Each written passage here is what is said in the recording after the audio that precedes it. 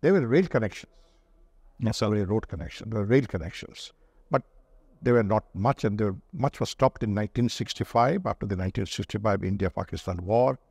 And in 1971, they were disrupted. Now, not only has Bangladesh and India worked jointly to restore to the 65 level, we have moved ahead. Uh, in, in, we never had a train uh, called the Mitali Express that goes from Dhaka non-stop all the way to New Jalpaiguri, where the customs and immigrations are done at the two ends only, not at the border. Road connectivity has increased immensely. I, I mean, it was like uh, uh, unbelievable increase in road connectivity. Are the road connectivity seamless? I'm afraid not. Still a bottlenecks in the border with visas and immigration, people taking too much time.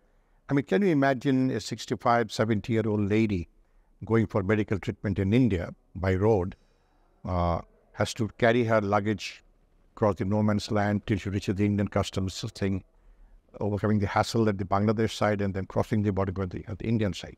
Why can't we make it more seamless? Why can't we have one building on one side is the Bangladesh India immigration, uh, Bangladesh immigration customs, just a few steps away the Indian immigration and customs.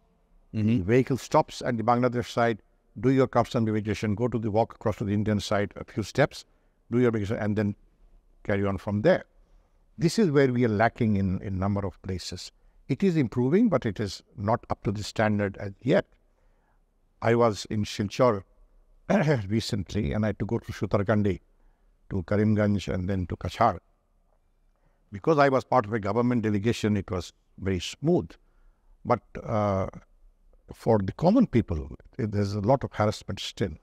At a virtual seminar I attended virtually, held in uh, uh, Guwahati a couple of years ago, uh, it's very widely attended.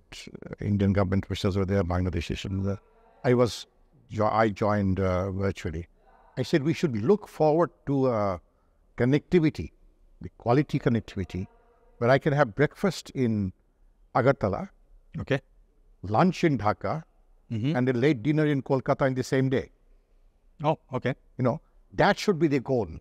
Mm-hmm. That's what they have between Germany and France, or Germany and Belgium, or you know, France and, and, and and other parts of Europe. Mm-hmm. So, Bangladesh and India, given our relationship, given our trust uh, uh, that we have built, there there are issues. Of course, water issues are there, and border killings are there.